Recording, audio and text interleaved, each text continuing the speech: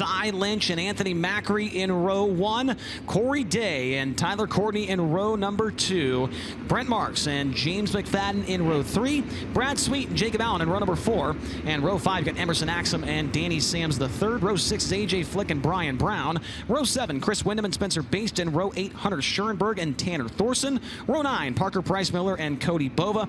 Row 10, Ryan Smith and Brenham Crouch. And then from the B main, Logan Wagner, Rico Abreu, Cory Eliason, and Justin Peck.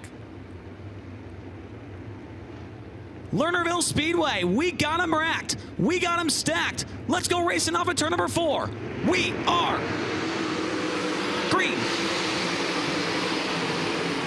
Rumbling into turn number one. We're three wide already for the second position. Give it to Anthony Macri as Lynch shows the way down the back straightaway. Lynch with the lead as Corey Day made a move to the inside of Tyler Courtney. Day wheels up off the corner. Leading lap one is Sye Lynch. Anthony Macri quickly to the inside. Looking for the race lead. Tries to run the bottom, but Lynch too good around the outside. Sye Lynch continues to show the way. Anthony Macri running in second. Third spot is now Tyler Courtney. Corey Day runs in fourth, and then James McFadden is into the top five. McFadden so close to a win here the last last time at the Silver Cup. Got into it with Tyler Courtney with a couple laps to go off at turn four. McFadden going to try and make his way forward. Here comes Tyler Courtney. He was in that wreck as well with McFadden. He's going to have the second spot at turn number four. Tyler Courtney going at it with Anthony Macri. Back into turn number one. Courtney going to try and run the bottom, of Macri too good around the outside. He'll maintain the second position. Lap traffic already about to become a factor for Lynch. He's almost on the same straightaway as the tail end of the field. Race for second down the front straightaway. Macri continues to have it at the start-finish line. Second and third look to be closing in on your race leaders. They once again go side by side and sort of that down into turn number three. Here comes Tyler Courtney. A huge Hail Mary slider. He's got the second spot back away. Tyler Courtney now up in the second. Macri slips to third. Fourth is still Corey Day and fifth is James McFadden. Sye Lynch with an eight or so car length lead over your rate or the second place car of Tyler Courtney. That time by just under a second was the advantage for the driver from Apollo, Pennsylvania. He's got Logan Wagner, Ryan Smith, Cody Bova, and a bunch of others right in front of him. He's going to catch him here in the next two laps. Race for third. Off of turn number four, Corey Day's got the third spot. Corey Day shoves the 39M car of Anthony Macri out of the way off of turn four, and Corey Day's up to third. Corey Day, can he maintain that position? Macri drew back to the left rear but couldn't make the pass as Lynch gets by his first lap car, that being Logan Wagner. So now a lap car between your race leader and the second place machine. Lynch, even passing that lap car, did extend the race lead just a little bit to 1.1 seconds. But the traffic is getting thick. It is getting very thick at the tail end of the field. Cars two and three wide up the road from your race leader. Here comes Tyler Courtney. Here comes Corey Day. The top three starting to catch back up to each other. One car over the cushion right in front of your race leader is Rico Abreu. He keeps on going. Race for second down the front straightaway. Now Corey Day switches the lineup, goes to the top, hammers the cushion, gets a big run down the back straightaway. Going to look to the inside of Tyler Courtney down the back straightaway. Race for second into turn three. Day gets stuck behind Logan Wagner, and Tyler Courtney's still going to have second at the line. Tyler Courtney maintains the second spot, but he saw Corey Day right there in turns number three and four. Now, all of a sudden, Tyler Courtney takes the lead down the back straightaway. Sunshine got by. Corey Day goes to second. An issue for Lynch there off of turn two. And now they're side by side for the race lead off of turn four. Oh boy, this is getting good at the front of the field at Lernerville. Tyler Courtney over the inside berm. Corey Day to the outside, takes the lead down the back straightaway. Corey Day now to the race lead. Tyler Courtney back to the inside. He's stuck behind Cody Bova. But don't worry, the 14, he's still got plenty of cars to deal with up the road. The 6 of Ryan Smith, the 24 of Abreu, the 8 of Eliason. This one far from over for the 18-year-old. Sye Lynch has slipped back to the third spot. Macri runs in fourth and fifth. Still belongs to the 83 car of James McFadden.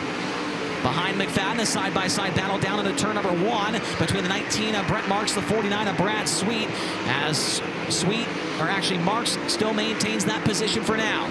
Corey Day up around the outside of the racetrack, now trying to get by the Silver Cup winner, that being Rico Abreu. Tyler Courtney going to try and work to the middle as Corey Day diamonds it off the corner and he pulls away slightly from the driver out of Indianapolis, Indiana. Goes to the top in three and four. That cushion getting built up pretty steep off of turn number four, but Corey Day running it to perfection just past the halfway mark here on night one of the Commonwealth Clash. And we have got a duel for the ages at the front of the field. Corey Day now to the bottom in three and four. Slips it up off the bottom. Tyler Courtney nearly lost the car. Gets into it with Cody Bova. Close call there for Sunshine. Tyler Courtney continues in that second spot, but he nearly lost the car went around off of turn four. Now he's under fire. The 39M car of Anthony Macri has gotten by the 42 of Sye Lynch. Moved Macri up to third and looking to track down Tyler Courtney for second.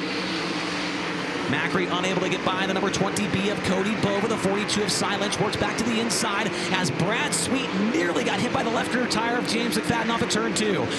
Lynch back into the third spot. He'll get by two cars in one corner. One of them was a lap car of Cody Bova. Lynch back to third. Sye Lynch back into the third position the last time by. Your race leaders are running identical lap times at 15.5 for both of them. But Corey Day's lead is almost two seconds over the 7BC of Tyler Courtney. 10 laps to go for Corey Day. So close to a win here during the Silver Cup. Came up one spot short. Gets cut off on turn number two right there from the eight of Cory Eliason. Most cars around the inside of the speedway. Meanwhile, the 14 car works the outside. Now ducks low into turn one. Tries to slide in front of the eight of Elias, and He will do so off at turn number two. Corey back to the inside. Regains his lap from the other Corey. Coming around to eight laps to go this time by as Day can't make the pass on the slower car. Sye Lynch's car coming back to life as he almost got by Tyler Courtney in turn four. Might do it this time off of turn two. Can't do it there. Sunshine maintains second. Corey Day's lead now just 1.4 seconds, so a half second taken out of the lead by Tyler Courtney. Sye Lynch to the inside. Lynch did not have the second spot at the line. Now he has it in turn one. Sye Lynch with the rally cap on. He is trying to get by and get up to the race lead once again here late in this race. Corey Day coming up on the eight-time track champion AJ Flick. Corey's lead that time by was 1.6 seconds. Sye Lynch, very good through the middle of the racetrack in one and two. It does appear that he's closing in, but there is a car, now make it two cars between himself and the 14 of Day. 1.6 seconds that time with five laps to go. Corey Day under fire again as AJ Flick looks back to the inside and turns three and four. Sye Lynch still cannot get by the six of Ryan Smith. James McFadden still runs in the fifth spot. Then Brent Marks, Brad Sweet, Jacob Allen, Spencer Bayston, Tanner Thorson's into the top 10 now, getting by Emerson Axsom that time by. Corey Day now closing in on the one of Brenham Crouch. Crouch currently runs in the 19th position. Day cannot make the pass on him with three lap cars between himself and the second place car as Day now makes his way around the outside and puts him a lap down. Next time by will be the white flag, one to go for Corey Day. Corey Day back straightaway, now looking at Danny Sams. Has to go to the outside and turns three and four. Absolutely ripping the literal lip around Lernerville Speedway here tonight. White flag, one to go. Corey Day down the back straightaway with a huge lead over Sye Lynch. Three and four for the final time. Win number seven on the year comes at Lernerville. Corey Day gets the win on night one of the Commonwealth Clash. Second at the line is going to go to Sye Lynch, just barely over Tyler Courtney, Anthony Macri, and James McFadden, in the top five.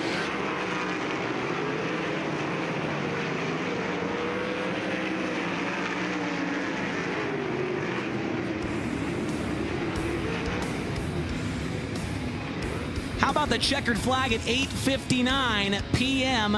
Eastern Time, a non-stop 30-lapper, and Corey Day is your winner. Sye Lynch ends up in second. Third goes to Tyler Courtney. Fourth to Anthony Macri. And fifth goes to James McFadden. Sixth to Brent Marks. Seventh to Brad Sweet. Eighth to Jacob Allen. Ninth to Spencer Bayston. And tenth goes to Tanner Thorson after starting in the 16th spot. Behind him, Emerson Axsom, Chris Windom, Hunter Schuerenberg, Parker Price Miller, Rico Abreu, Brian Brown, Danny Sams, Justin Peck, Cory Eliason, and Brenham Crouch. Rounding out the field is Ryan Smith, AJ Flick, Cody Bova, and Logan Wagner. He's already got the helmet off and the hat on. Climbing out of the Jason Myers Racing number 14. Corey Day with the fireworks going off. He'll get the Hoosier Tire neckband. He'll get the Sunoco Race Fuels checkered flag. He's headed up top, race fans. How about it? Corey Day. Officially his eighth win on the year, but seventh one in the record books for him. The prelim night at the Gold Cup, not counting towards that, but his seventh full feature win for Corey here this year with High Limit Racing. It's been a fantastic season for him, and he'll kick off a weekend at the Lernerville Speedway with a victory, Tony. Night number one of the Commonwealth Clash goes to Corey Day. It's your eighth win of the year with high limits, seventh full-time one because the prelim nights don't uh, don't really count. But a clean and green 30-lap feature with pretty torrid pace. What was it like behind the steering wheel of this driven to save lives machine? Man, I uh, I did not know where they were at or where to be. Um, you know, I kind of got to those lap cars there, and uh, they were three wide there for a second, and I got to Rico, and then he started driving away from me on the bottom, and I moved down, and my car wasn't good down there, so I had to move back up, and um, you know, I thought I saw Sunshine's nose about 25 different times, and uh, it must have just been a lap car. But um, yeah, the track just cleaned off there, and um, you know we got really, really free, and I just started uh, getting real stood up and couldn't make much speed. So um, you know, glad glad it you know cleaned off and built a curb, and I was able to kind of go rely on that. And um, yeah, good to get another one for sure. You came here for the first time back in July for the Don Martin Memorial Silver Cup. You went second to second that night, but then you get to come back here. And that's kind of been the theme a lot this season, getting to go back to tracks for the second time. Did you feel much better? Did you feel any more confidence knowing how well you ran here in July? Oh, I definitely did feel better. You know, I knew um, we weren't too great on our race car last time. Rico beat us with no left rear shock there. Um, so, uh, yeah, we had some work to do this time, but um, like you said, it's great to come back to track for the second time and uh, have a notebook and know what you could have done better, and um, we did it better there in that feature. So, as a high roller, a full time high limit racer in 2024, anytime a high roller wins, you get to send $1,000 of an angel donor's money we didn't get to do this, mostly because I forgot back at Gold Cup 70 in Chico. So, where are you sending our angel donors $1,000 tonight? Uh, Driven to Save Lives. You know, they support me and uh, my race team and, you know, came on board for, for our big year this year. So uh, if I got a chance to get back to them, I'm going to do that. So uh, got to thank, you know, Driven to Save Lives, Sander Engineering, Myers Constructors, Four Seas Construction, uh, FK Rod Ends, Factory Kahne, Paul Kistler, KPC Chassis, uh, All Star Performance, Autry Plumbing, um, System One, just a long list of people that are on this thing that believe in, in me and my guys and uh, you know our whole team to, to help us go do what we want to do. Okay, and finally, the real question I need to ask is during the redraw wheel spin, the Butler built question was who would you like to go head to head against? You pretty confidently said Ronnie Day, your father. So now, after your tying with Brad Sweet's seventh feature win and Rico, you join those guys with seven wins this season. Ronnie, I mean, do you think he's nervous now? He's got to be nervous. Got to be. I, you know, like I said, I think two laps might be a good race, um, but he definitely couldn't have ran with me for 30 there. Oh, Corey Day, he's got the confidence because he's got the win. Number seven here in 2024. Make some noise for your winner, Corey Day. And Tony, with that win and the overall year, with that prelim night, he would be the winningest driver on the season. But he is now tied, as you mentioned there, with Brad Sweet and Rico Abreu. So those drivers with seven wins apiece between the 49, the 24, and the 14. So good stuff there. And next up, Sye Lynch. He got going late in the race, Tony, and he finishes up in the second spot. Yeah, what a uh, kind of roller coaster, maybe seesaw is the better word for the feature that Sye Lynch had here tonight. Started on the pole position inside of the front row. And uh, Sye, we're going to get over and check in with him. He's debriefing with Jake Argo and the 7BC guys. Sye, let's get over here in front of your race car and show it off because this thing was moving. You were uh, you were up, you were down. You had like a five lap run from lap eight to 13 or 14 where you were really off the mark. And then you got back. You started clicking off really fast laps. What happens in the middle part of that race, and what kind of forced you to have to battle back?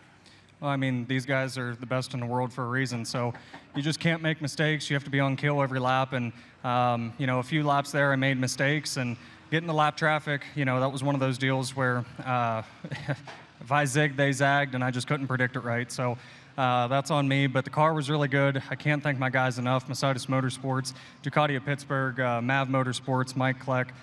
You know, everyone that makes this possible. It's just Mountain Mechanical, All American, and uh, you know, we still are an underdog team, and we've been fighting all year to uh, to race with the best. And I uh, I think it shows that uh, it's improving our team. I think it was I 70, no, Lucas Oil night number one. You had a really strong car. You came out of there with a top five finish. How validating is this to know that you went up against, in your words, the best in the world, the high rollers with Kubota High Limit Racing? You stayed up front, you battled back, and you get out here with a second place finish. Does that validate you as a driver? I hope so. I mean, you know, I'm probably my hardest critic, and you know, my guys and I run a tight knit operation, and uh, you know, I just got to give up to the fans. You know, being here in the home track, you know, I really. Uh, for the Silver Cup here, I really wanted to put on a good show. I thought we were top three car that night, and uh, to come back home and, and uh, finish second and have a chance to win, you know, means a lot.